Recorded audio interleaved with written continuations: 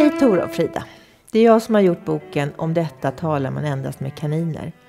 Den handlar om att ha mycket starka känslor och sinnesupplevelser.